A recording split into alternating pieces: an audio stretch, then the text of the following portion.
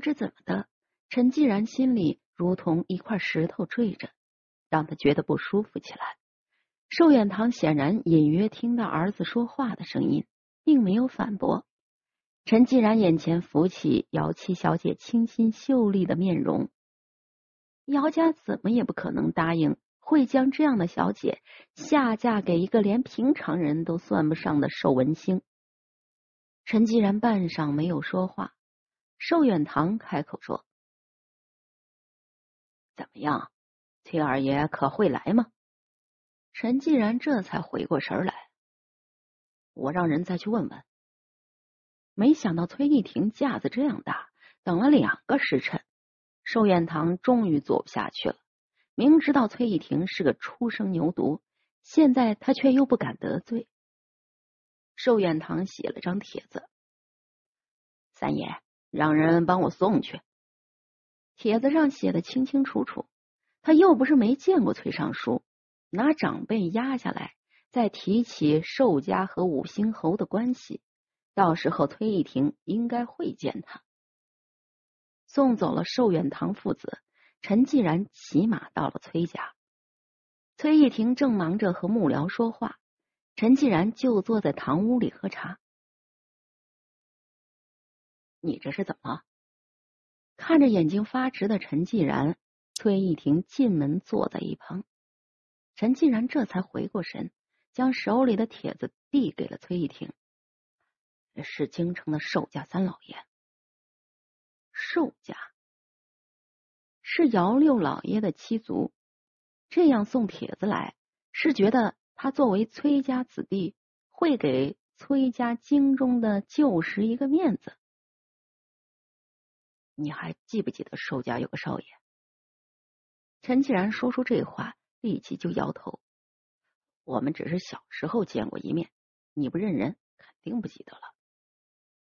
崔义庭朝陈继然看过去，语气淡然：“你说的是寿文星？”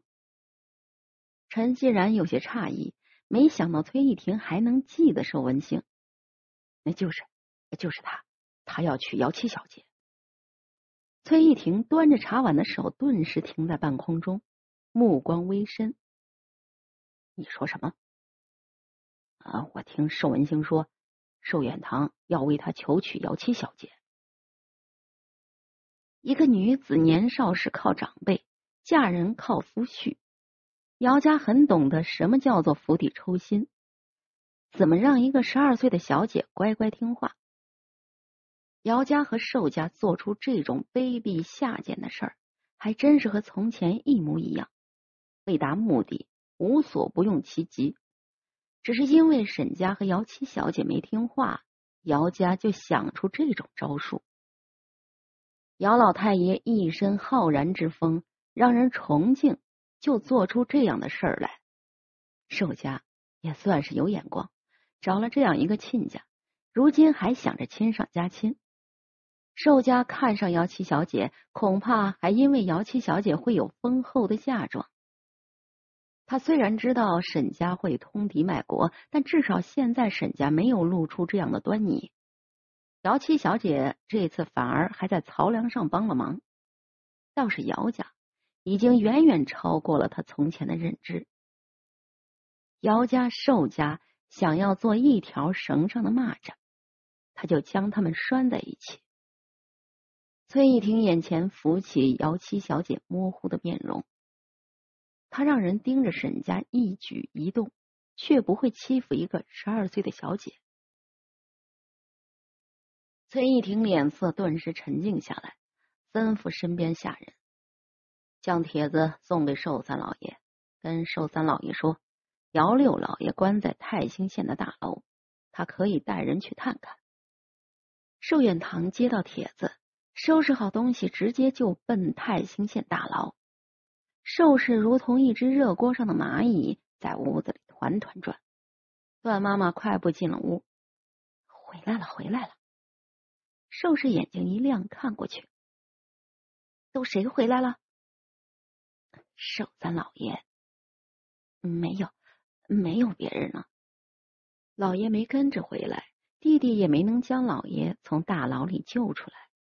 寿氏整个身子又瘫软了下来。太太别急，还是听听舅老爷怎么说吧。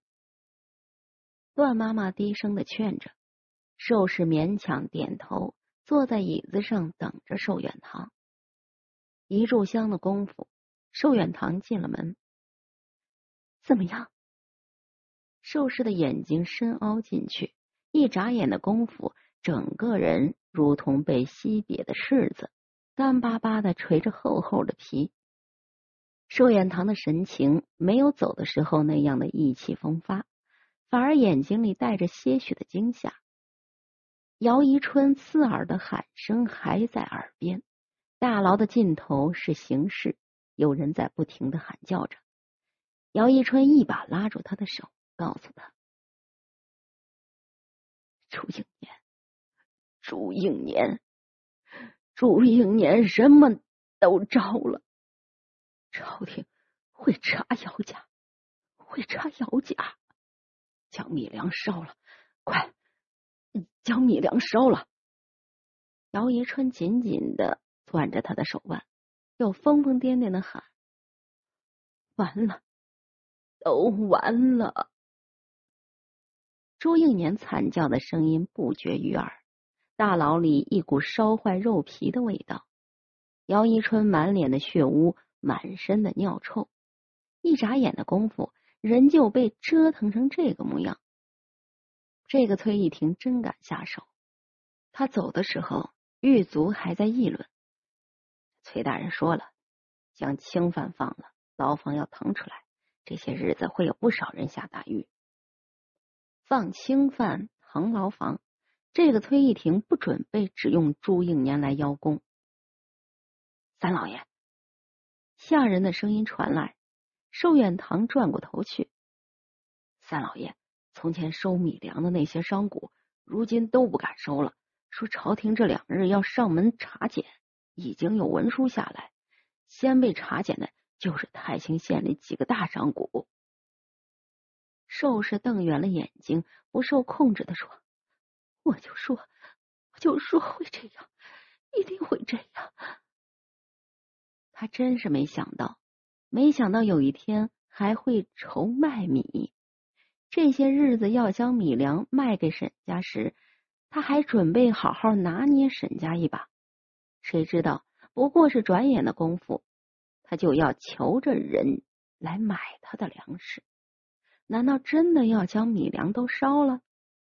烧也会留下痕迹，万一烧到半截儿，引来官府又要怎么办？如果能悄无声息的运出泰兴，至少还能卖出一些银钱。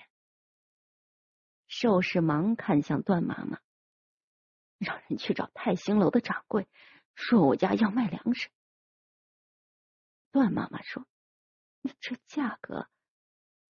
现在他哪里还顾得上价格？就按他们说的办。好在泰兴楼的东家有船，不怕运不出去。泰兴楼就是他的救星，他的大救星。好弟弟，你也将手里的草粮卖出去吧。你可千万不能有事儿，你有事儿让我怎么活啊？寿氏看着寿远堂。那泰兴楼是山西过来的商家，朝廷一时半刻的不会想到那里。他们的船几日内就要离开泰兴，这是老天要放我们一马，千万不能错失良机。等我们闯过这一关，以后的事儿都好说。赔了银钱是没关系，只要人在，将来我帮你一起求娶婉宁。婉宁带着厚厚的一笔嫁妆，你放心，定然不会亏了你。将二老太太送回姚家，婉宁去了沈家。沈静元脸上满是笑容。如今泰州府的商贾，只要手里有米粮的，都是人人自危，生怕查到他们头上。多少家都开始不收粮食，就我们家还像从前一样。沈静元说着，看向婉宁。这件事儿多亏了婉宁，要不然。只怕是要掉进这朱应年的圈套。泰兴楼怎么样？婉宁一路过来，只看到有人在排队。沈四太太笑道：“哼，你那法子管用了，现在人人都知道泰兴楼。今天才第一天开张，不知道就要卖出去多少茶。光凭品质好的茶和别人没见过的茶点，泰兴楼的生意定然会红火。何况他还用了些营销手段。”万宁说。崔玉婷有没有再来查我们家的米粮？沈静元摇摇头。上次差点买了曹粮，我就吩咐人多安排了人手，不见有人来查看。崔玉婷是寻曹御史，是想要抓一个朱应年了事，还是真的会像李御史一样刚正不阿的将曹粮查个清清楚楚？说着话，焦无应进了门。七小姐。寿家人来买粮了，寿事上当了。焦无应说：“我们要怎么办？就将粮都收来。”婉宁摇摇头：“你去跟着看粮，说是草粮，我们不能买。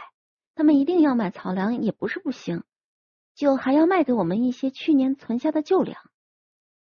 每年存粮是要等到曹粮都上缴之后再收购。”今年南直隶都没有上缴足够的草粮，哪里来的这么多粮食？所以寿氏才急着将手里的新粮脱手，否则他是怎么也说不清楚。焦无应说：“那能行吗？而且陈粮作价再低两成。”焦无应一怔。婉宁说：“带着寿家人去看看我们的船，弄好了立即就搬上船运走。”现在姚一春在大牢里，寿氏急着要将手里的粮食脱手，一定会答应。沈四太太听着，正愣在那里。他才到姚家时，婉宁就跟他说要跟寿氏做一笔米粮买卖，现在果然就做成了。焦无应说：“若是寿家人不答应，婉宁微微一笑，肖掌柜就说。”我们家在山西有几间酒铺，寿家就明白了，为什么要说酒铺？沈四太太不明白，既然要买寿氏手里的粮食，他怎么也要在这上面下功夫。他不太懂生意，更不知道那些人贪没了曹粮要怎么销赃，特意让舅舅去查问。婉宁看向了沈静元，舅舅说。倒卖曹粮是掉脑袋的事儿，所以要洗粮，将曹粮送进酒铺酿酒，酒铺另收一些正当的米粮。这样一来，谁也不知道酒铺用来酿酒的是什么粮食。所以他要去年的陈米，寿氏也不会惊奇，反而会觉得泰兴楼的东家深谙此道，将米粮交给一个懂行的人，会更加的妥当。姚一春被抓，寿氏虽然在姚家，也像身处大牢之中，恨不得立即找到一扇窗子从里面爬出来。现在他就来做这扇窗子。陈继然心里乱成了一团麻。三爷，咱们要将这些东西都带走。陈继然仿佛没有听到下人说话的声音。姚家到底会不会将姚七小姐嫁给寿文兴？如今姚三老爷仿佛不管这个嫡长女，姚老太爷也不太喜欢这个孙女儿。姚七小姐还逆着三房，帮姚家二房握紧了姚氏族长之位。怎么看这姚老太爷也不会为姚七小姐的终身好好考虑。就算姚七小姐现在有沈家依仗。可生母被休之后，沈四老爷不算正经的舅舅，有点嫁妆傍身又能怎么样？反而徒增算计。他来泰兴的时候，母亲提起和姚家的婚事，还说可惜了姚家没有好女儿，这门亲还不知道怎么做。姚七小姐虽然是嫡长女，却生母被休。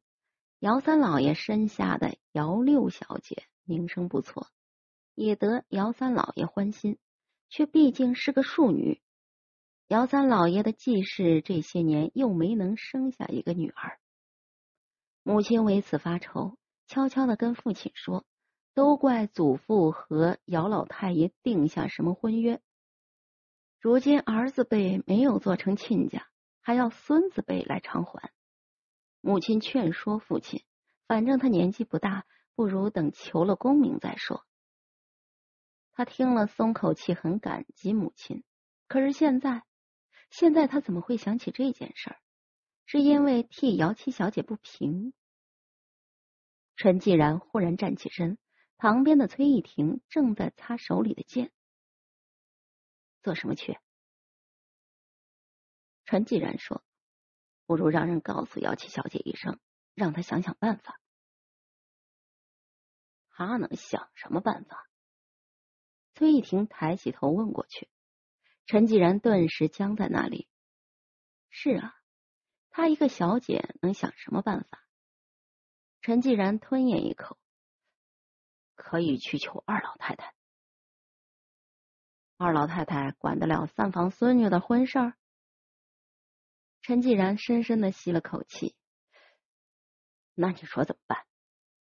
崔玉婷站起身，脸上是淡然的神情。寿远堂能放纵儿子在你面前提起这些？就能让消息传开，不用你送信，姚七小姐也会知道。姚七小姐的性子又不是逆来顺受的人，想要帮忙用不着急匆匆的赶去，等到恰当的时候推波助澜。崔玉婷说着，将剑回鞘，顿时撞出一个清脆的声音：“二爷。”陈宝庞大的身子晃进门。立即让整间屋子都狭小起来。从姚七小姐那边传过话来，事情办妥了。姚七小姐说：“曹良和人归您，陈米归他。”说着顿了顿，还要二爷答应将他垫出去的买米粮的银钱还给他。到底还是让他将事儿做成了，不用他大费周章，直接将米粮送到眼前。让他腾出手来做别的事儿。从崔家到京城，从京城到泰州府，从泰州府到泰兴，他从来没有觉得这样的轻松。崔玉婷看向廊下的鸟，将东西送给姚七小姐，银钱我会还给她。既然是买卖，就不会让她失本。陈宝觉得奇怪，送什么不好啊？为什么送只鸟？姚七小姐之前送来一只蚂蚱，现在少爷回一只笨鸟。陈宝向鸟努了努嘴，这东西送走了好，免得在廊下叽叽喳喳。寿氏想要见泰兴楼的东家一面，让人将肖掌柜请了过来。能不能和东家说一声？粮价高一些，明年我们家有粮还卖过去。肖掌柜摇摇头，不是东家不肯，如今真的是冒着风险。不要说泰兴，泰州府也没有几家在收粮。现在官府没有查到我们头上，所以这三天之内才要运出去。太太应该明白，这和寻常时候不同。寿氏从来没有觉得见一个东家这样难。说不然，太太还是想一想再说。眼见焦掌柜要告辞，寿氏吞咽一口，卖，我卖了，要跟东家说好，这粮食要立即送出泰兴。焦掌柜立即躬身，别说您急了，我们也急着呢。寿氏想想米价，就如同剜心一样的疼，要将囤的米都卖出去。还要低两成的价格，泰兴楼是一点点在磨他的血肉啊！寿氏将牙紧紧的咬住，他让人买些东西去拜会泰兴楼的东家，结果人没见到，还带回来了买陈米的消息，真是虎落平阳被犬欺。他现在偏偏又没有别的法子，也不知道该去求谁，谁能帮帮他？寿氏觉得自己如今正躺在磨盘上，血肉模糊，不知怎么的，他就想起婉宁的话：“卖了就不能后悔，卖了就不能后悔。”这丫头好像一早就看到了今天的结果，这个等他缓过气来一定要好好的收拾他。